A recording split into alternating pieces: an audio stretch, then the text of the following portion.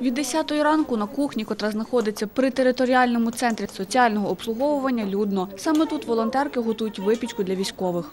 рогалики, і пиріги, і, і пироги, і, і завиванці, і ем, з яблуками ем, пироги. Ну, коротше говоря, все те, е, що мо- принесло би якесь, ну, не те, що матеріальне, а якусь е, задоволення нашим дітям. Є люди, які передають домашнє варення, так що звертаюся до наших жителів, що також можете долучитися. Якщо не пекти, то бодай е, долучитись тим, що принести в торговий центр дитячий світ або учасникам або членам е, турботи про літніх густе варення, або маргарин, цукор і всі інші інгредієнти, які потрібні для домашньої випічки.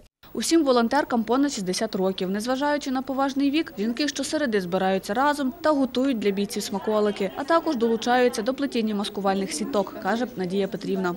Ми ходимо в'язати е, в дитячий мір е, сітки для е, АТО, для наших воїнів.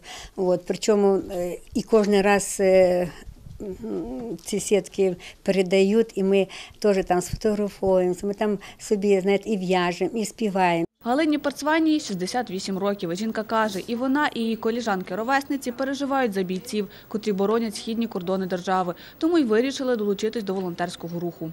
Це все ми вкладаємо в свою душу, своє серце. Ми дуже переживаємо за тих дітей, які гинуть. Ми дуже переживаємо за тих, хто остається сиротами. І ми б хотіли теж і там допомогти тим людям, які знаходяться, в, е, яких убивають там, е, цих мирних. А бажання у волонтерок лише одне. І ми хочемо, щоб вони всі живі осталися, здорові. Хочемо, щоб ці наші діти е, вернулися живими, здоровими. Дарина Денисенко, Віктор Кривий для інформаційного випуску.